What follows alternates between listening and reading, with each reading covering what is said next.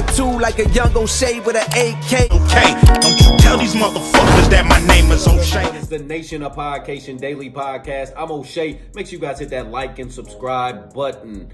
Hot Boy Turk talks about the Hot Boys reunion, the Hot Boys tour, the upcoming extension to the Louisiana Fest in Houston on in December. I think it's on the 21st. We got the second part of the Hot Boys reunion. Now, as we all know, November 2nd, a few weeks ago, it went down Smoothie King Arena. You had Wayne, Juvie, BG Turk, Mannie Fresh, and Birdman, the original Cash Money millionaires back together for the first time since the year 2000. Nearly 25 years in the making. Lil Wayne put it together. Hey, one hell of a show, a moment in hip hop. Hey, th that concert is something that folks in hip hop will never forget just because seeing all of them back on stage after all that time, nostalgia. I mean, hey, what a moment. Anyway, Hot Boy Turk talks about the the continuation to this. We got a Houston date for the extension of the Louisiana tour, December the 21st, going down in Houston. Hey, can't wait to see this show, this part two.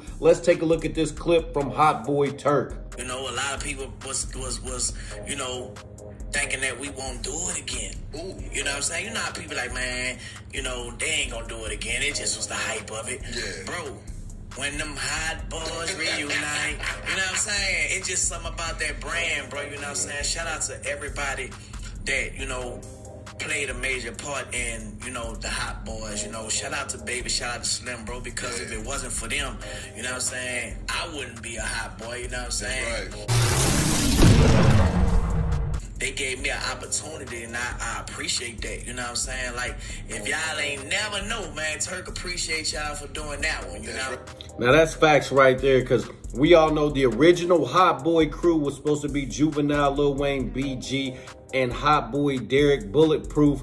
Unfortunately, Bulletproof was exiled out of the group. We'll say Hot Boy Turk was brought in and that's how we got the Hot Boys. Hey, it must have been God's plan because look what happened to the Hot Boys. They took off one of the greatest hip hop groups of all time, one of the most memorable trendsetters back in the late 90s. Hey, shout out to the Hot Boys. Let's tune back in to Hot Boy Turk. Man, and bro, it just it just man, it's a wonderful time right now, bro. The fans are going crazy, you know what I'm saying? And um they buying them tickets, B, you feel me? Yes, yes, yes. real. Yes, man. Um we got a few offers on the table, I'ma say it like that, you know what I'm saying? Um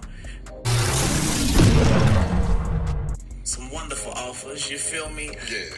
But you know, everybody's schedules, you know what I'm talking about? Wayne, you know, doing this thing, you know, you got the Carter 6 Mm-hmm. coming, you know what I'm saying? You got the Big Tymers, you got Juve on his back that ass up tour. Yeah. You know what I'm saying? And everybody basically just doing their own little thing right now. So we have to make sure everybody is in schedule and we don't have no conflicts, you know what I'm saying? So December 21st date came, you know what I'm saying? Everybody, you know, it's Christmas Available, time. yeah, yeah.